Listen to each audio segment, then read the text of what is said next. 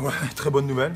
En plus avec un, bon, un scénario euh, comme, dans les, comme, dans les, comme dans les bons films suspense, on va dire. Donc euh, c'est vrai que c'est. euh, ça a été. D'ailleurs, je tiens à voilà, féliciter, à remercier les trois autres équipes parce que ça s'est passé vraiment dans un climat hyper positif, ce qui est quand même déjà le plus important.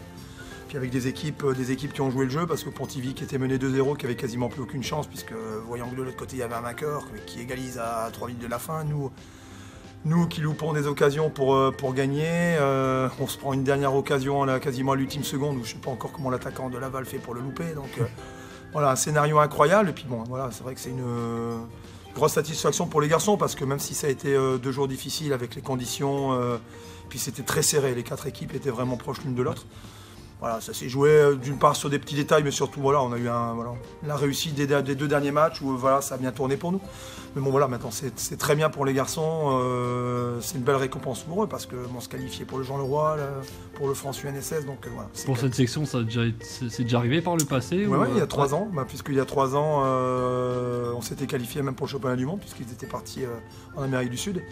C'est vrai que ça, fait, euh, ça faisait deux ans qu'on tournait un petit peu euh, autour. quoi. On, on atteignait à chaque fois ce deuxième tour. L'année dernière, ça s'était euh, décanté aussi de la même façon. C'est bizarre parce qu'on s'était retrouvé aussi tous égalité à la troisième journée. Donc ça s'est répété aujourd'hui. Puis bon, voilà, nous on passe, je crois que ça se joue au, au nombre de de buts ouais. le nombre de buts marqués. Donc quelque part, c'est une belle histoire pour nous parce que la philosophie de- du club et de, de la section, puisqu'on est très intimement liés, c'est de, de jouer, de jouer et de jouer pour marquer. Donc quelque part, se qualifier en marquant des buts, c'est bien, c'est, euh, c'est positif. Et pour cette bande de garçons, à, à pouvoir aller à Clairefontaine, euh, c'est- c'est- je pense qu'il y, a un- il y a quelque chose de magique pour eux. Ils en, ils en parlent souvent. C'est un- une compétition importante pour, pour eux et pour vous. Bien sûr, bah, c'est, c'est d'une part, bon, bah, c'est Clairefontaine, donc c'est vrai que c'est l'occasion de, de- de se retrouver là-bas.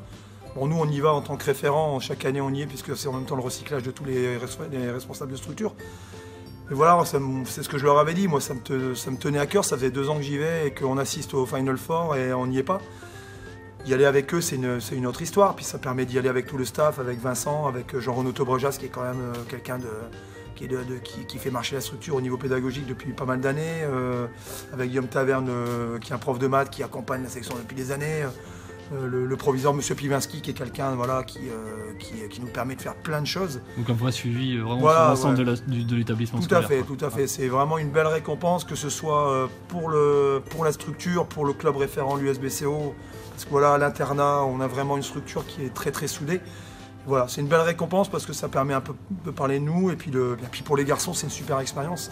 Au niveau formateur, c'est euh, c'est intéressant. Puis nous, au niveau, euh, au niveau de la connaissance du, du- du garçon, de, de- de l'homme ou du joueur, c'est intéressant de pouvoir partir quelques jours comme ça et de, de vivre des aventures. Quoi. Donc, euh, La totalité des joueurs sont des, des joueurs de Boulogne ou une grosse majorité en tout cas? Euh, une grosse majorité. Après, on a, on a quand même des, des joueurs hors club, mais c'est une grosse majorité de joueurs, de joueurs bolonais, mais avec des joueurs aussi hors section, quoi, parce que c'est ce qui fait la richesse d'une section sportive. C'est d'avoir, euh, c'est vrai, ce club support qui est, euh, qui est important, de locomotive quelque part. qui est la locomotive, mais en même temps, euh, être là aussi, la structure, elle est là aussi pour permettre à des garçons qui, sont, qui sont dans d'autres structures, peut-être un peu plus petites, de pouvoir bénéficier de, de cet avantage de section, puis, pouvoir, puis pour, pour, le, pour les joueurs de, l'USBC aussi, euh, on parle toujours de mixité euh, sociale, mais c'est aussi la mixité sportive.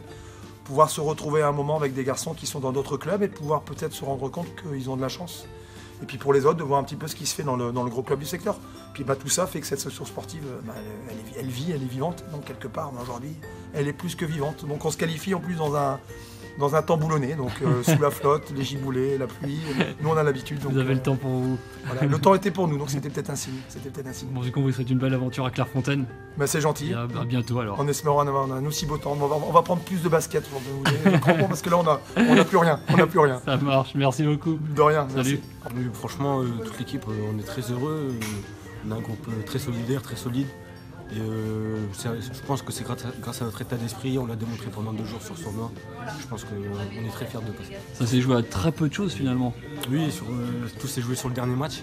Et euh, ça s'est joué dans l'envie, dans la détermination.